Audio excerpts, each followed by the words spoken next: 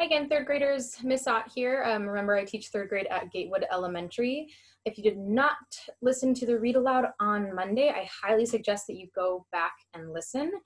Um, our read aloud for this week is the book Keepers by Jeri Hanel Watts and Felicia Marshall. Uh, and on our Monday read aloud, we read the majority of the book. So you want to make sure that you hear that lesson as well so that you are all caught up. So if you are caught up and you are continuing along with us today, I'm just going to review a little bit about what happened in this story. So before I start, I want you to just tell yourself what was Kenyon's problem in this story?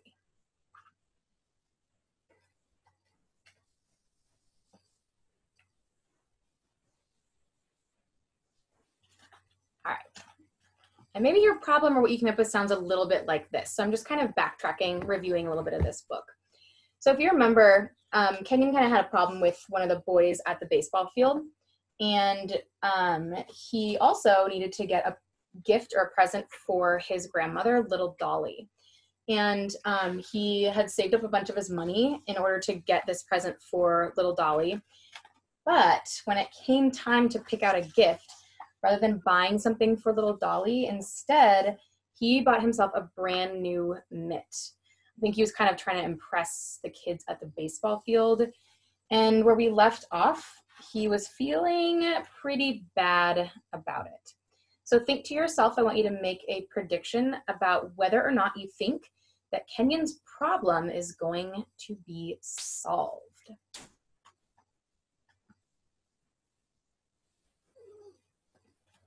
All right, let's see what happens. So listen really carefully as I reach the end of the story.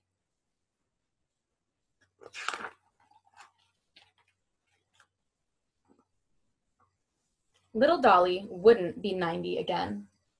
He couldn't do better. There wouldn't be a next time. Shoot, he didn't blame little Dolly for not trusting him with her stories. He couldn't even be trusted with money and the stories. That was it. He could give her something.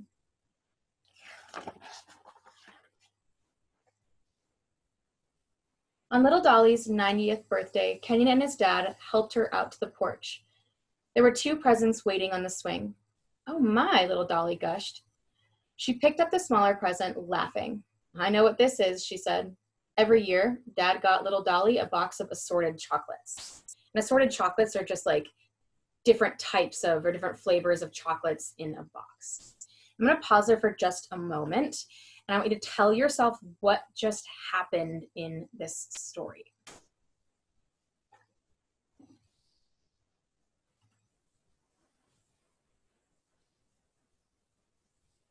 I also want you to think about why did all of these people from town come to little Dolly's birthday? It's a lot of people to come to a birthday party. Why do you think they all came?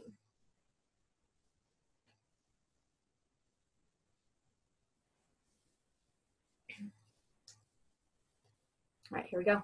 All the way to the end now. They were her, I'll back up a little bit. Every year, Dad got little Dolly a box of assorted chocolates. They were her favorites, and she always hid them so she wouldn't have to share. I'll save these for later. She tucked the box behind her arm and reached for the other gift. As she picked it up, car horns sounded. Lord almighty, little Dolly said, what's happening? Happy birthday, Miss Bowles, shouts came from the street, and suddenly the porch spilled over with people from the town all of the friends little Dolly had made in all her years of living in Lexington. Mrs. Montgomery strolled up the walk with the biggest strawberry shortcake ever. Happy birthday, she said, setting the cake before little Dolly. Make a wish and blow out these candles. It isn't every day you turn 90, you know. She reached over and hugged Kenyon. The cake was delicious and everyone had a good time. Don't that beat it all, little Dolly said after everyone had left. Best birthday I've. Little Dolly stopped as her foot pushed on Kenyon's present. Well, looks like it ain't over yet, she said. Hand that box up to me, Kenyon. Little Dolly ripped the paper off as Kenyon shifted from foot to foot. He started apologizing.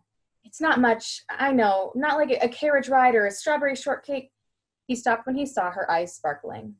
She carefully lifted the gift from the box and delicately, that means like really carefully, and delicately touched the handmade book. They showed us how to do that at, at school, Kenyon explained. How to bind it and all. And inside I put my stories, she finished. A book of my stories. Yes, ma'am.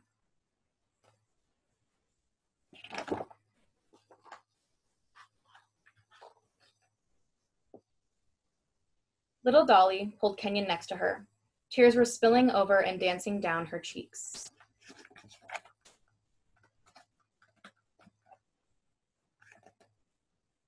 Seems that I was wrong, Kenyon, she said. A keeper don't have to be a girl. You've done a fine job here, child. Now I'm going to need to teach you a few things all keepers got to know. And then, well, you'll need to add some of your own stories. Maybe a few baseball stories, huh? Kenyon smiled and slipped his hand into little Dolly's. It was definitely a wallet bat day. It's a really sweet story. So, what important things happen at the end of that story? When you think about how did Kenyon feel at the end of the story? How do you know he felt that way? Maybe how did little Dolly feel at the end of the story? And how do you know that she felt that way? Take a moment to think to yourself about all the events, all the big things that just happened at the very, very end.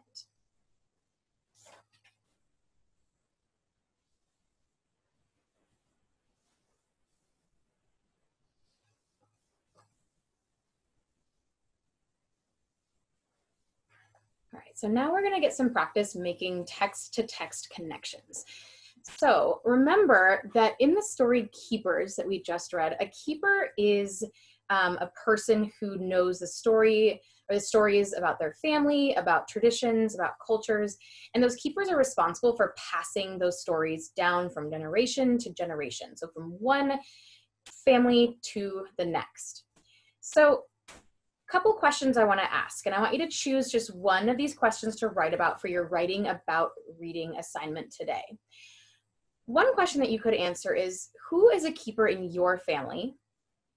What story do you like to hear that person tell?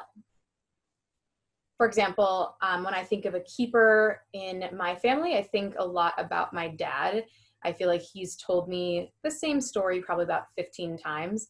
And I always love to listen to his stories, um, especially about stories of my brother growing up and how he was a very difficult child to raise. Um, and there are stories that I'll just never forget, and I want to always pass along to the rest of my family.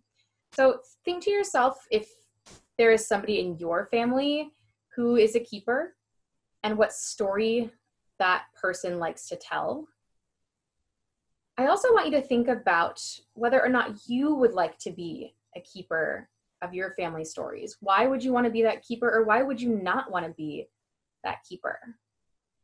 I feel like some of us might feel a great responsibility from being that keeper, and some of us might really not want to take on that responsibility.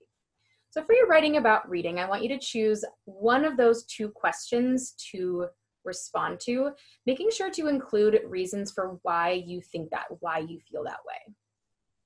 When you're finished with your writing about reading, it's time to go into IDR.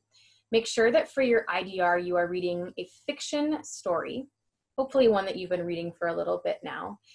And as you are reading today, you're going to be using self-stick notes or a separate piece of paper and finding those places in your book where important things happen.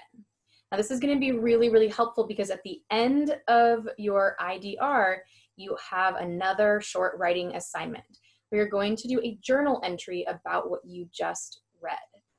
For your journal entry, make sure that you include the title and the author of the story. You include a little bit about what happened in the story. So, what is the story about? And then take one of those important ideas that you noted yesterday or the day before, or that you noted during your reading today, and write what that important idea is. And again, most importantly, be able to explain why you think that idea is important. You guys got a lot of work for you to do today. Thanks again for being here, and I'll see you on Friday.